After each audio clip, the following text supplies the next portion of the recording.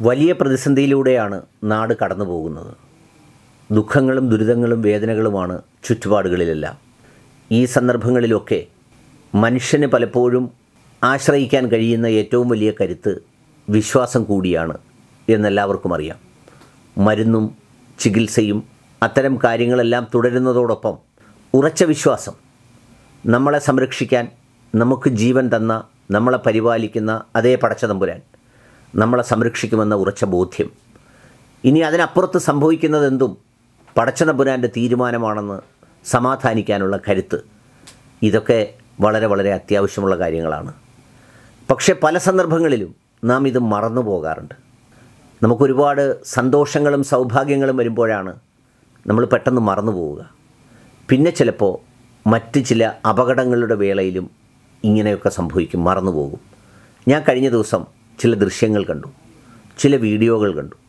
അത് കണ്ട് ഞാനതിന്റെ യാഥാർത്ഥ്യങ്ങളിലേക്ക് തിരക്കിപ്പോയപ്പോൾ തുർക്കിയിൽ ഒരു വാഹനം അപകടത്തിൽപ്പെടുന്നു.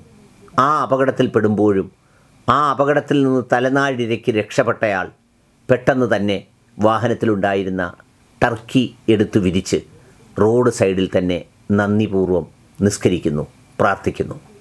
ആ വിശ്വാസത്തിന്റെ കരുത്താണ് നമുക്ക് പലപ്പോഴും ഇല്ലാതെ പോകുന്നത്. നിഷ്പക്ഷം നിലപാടിൽ അതിനെക്കുറിച്ചാണ് എനിക്ക് പറയാനുള്ളത്.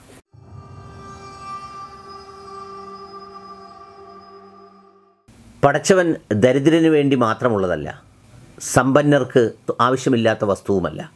നാം ഏറ്റവും കൂടുതൽ പടച്ചതമ്പുരാനെ സൂക്ഷിക്കേണ്ടത് വിശ്വാസത്തിന് കരുത്തു പകരേണ്ടത് നമുക്ക് സൗഭാഗ്യങ്ങളും സമ്പന്നതയുമൊക്കെ ഉള്ളപ്പോഴും പിന്നെ നമ്മുടെ പ്രയാസങ്ങളിലും വെല്ലുവിളികളിലുമൊക്കെയാണ്.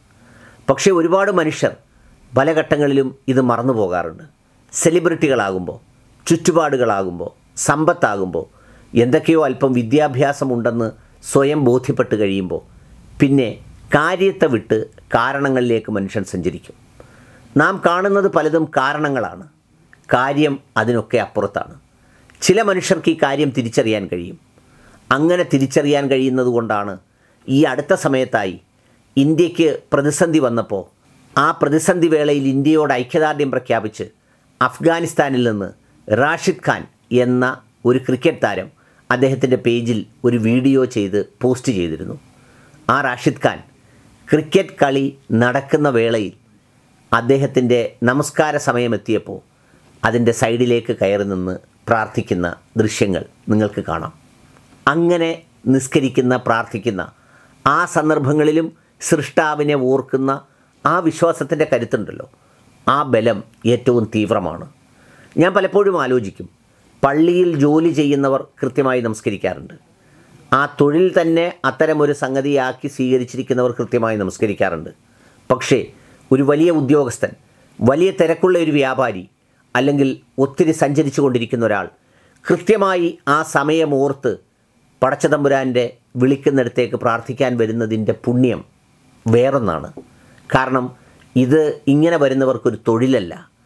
അവർ എല്ലാ തിരക്കുകളിൽ നിന്നും നമ്മൾ സാധാരണ വലിച്ചു പറിച്ച് കളഞ്ഞ ശേഷം ഓടി വരുന്ന ഒരു സംഗതിയുണ്ടല്ലോ.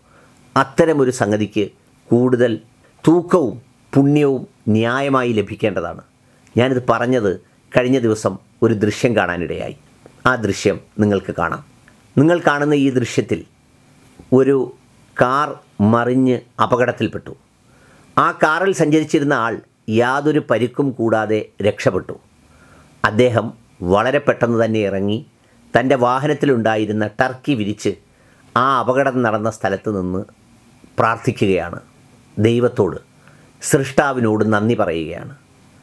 അവിടെ ഇങ്ങനെ രക്ഷപ്പെട്ട് ഇറങ്ങുന്ന ഒരാൾ അല്ലെങ്കിൽ ഒരു പ്രതിസന്ധി മുറിച്ചു കടക്കുന്ന നേരത്ത് ഒരു വെല്ലുവിളി മുറിച്ചു കടക്കുന്ന നേരത്ത് അദ്ദേഹം പെട്ടെന്ന് പ്രാർത്ഥിക്കുമ്പോൾ കേൾക്കുന്നവർ ചിലപ്പം വിചാരിക്കും ഈ വാഹനത്തിന്റെ കരുത്ത് കൊണ്ട് രക്ഷപ്പെട്ടപ്പോൾ അല്ലെങ്കിൽ ഇതിന്റെ മൂല്യം കൊണ്ട് രക്ഷപ്പെട്ടപ്പോൾ അല്ലെങ്കിൽ ഇത്രയും സുരക്ഷിതമായ വാഹനമായതുകൊണ്ട് രക്ഷപ്പെട്ടപ്പോൾ ഇയാൾ എന്താണ് ചെയ്യുന്നതെന്ന് വിചാരിക്കും. പക്ഷേ കാര്യമറിയാവുന്നവർക്കറിയാം എത്ര സുരക്ഷിതത്വമായിരുന്നാലും എത്ര ബലമുള്ളതായിരുന്നാലും ജീവൻ അവശേഷിക്കാൻ ആ ജീവൻ തന്ന ശക്തി തീരുമാനിച്ചതുകൊണ്ടാണ് അത് അവശേഷിക്കുന്നത് എന്ന ഉറച്ച ബോധ്യത്തിലാണ് അദ്ദേഹം നിസ്കരിക്കുന്നത്. ഒപ്പം ഇത്രയും കരുത്തുള്ള വാഹനം സംവിധാനം ചെയ്യാൻ ആസൂത്രണം ചെയ്യാൻ ഡിസൈൻ ചെയ്യാൻ നിർമ്മിക്കാൻ മനുഷ്യ മനസ്സുകൾക്ക് തലച്ചോറുകൾക്ക് ബുദ്ധിയും വൈഭവവും കഴിവും ജീവനും നൽകിയ അതേ സൃഷ്ടാവിനെയും ഇതേ സന്ദർഭത്തിൽ നന്ദിപൂർവം ഓർക്കുകയാണ്. കാര്യം അവിടെയാണ്. കാരണങ്ങളായി മനുഷ്യനാകാം വാഹനങ്ങളാകാം നമ്മുടെ സമ്പത്താകാം എന്നൊക്കെ നമുക്ക് തോന്നിപ്പിക്കാം. ഇതെല്ലാം വെറുതെ കാരണങ്ങൾ മാത്രമാണ്. കാര്യം എന്നത് അയാളെ രക്ഷപ്പെടുത്താൻ നാഥൻ തീരുമാനിച്ചു എന്നുള്ളതാണ്. ആ ഉറപ്പ് ആ ബലം ആ വിശ്വാസം ആ കരുത്ത് അതാണ് ഓരോ വിശ്വാസിക്കും അവനവന്റെ ഈശ്വരഭക്തിയിലൂടെ ഉണ്ടായിത്തീരേണ്ടതെന്ന് ഞാൻ വിശ്വസിക്കുന്നു.